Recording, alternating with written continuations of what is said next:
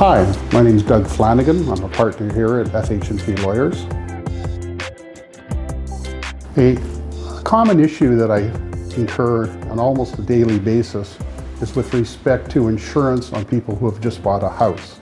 If you're like me and you were buying a new house, you would need a mortgage to help pay for it because of the cost of homes these days. And accordingly, the people that lend you the money, usually the bank or the credit union, will require that you have insurance on the house. House insurance used to be fairly simple and straightforward. That is no longer the case.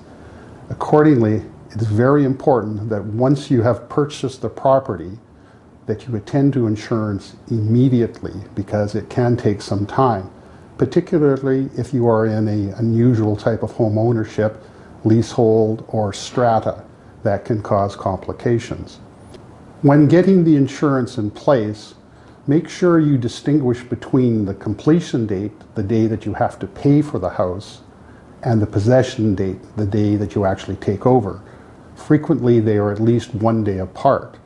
It is important and imperative that the insurance start on the completion date or even the day before because if you leave it to the possession date, and of course, as life would have it, it burns down overnight, you may not be insured at all. And accordingly, you will be in a lot of trouble.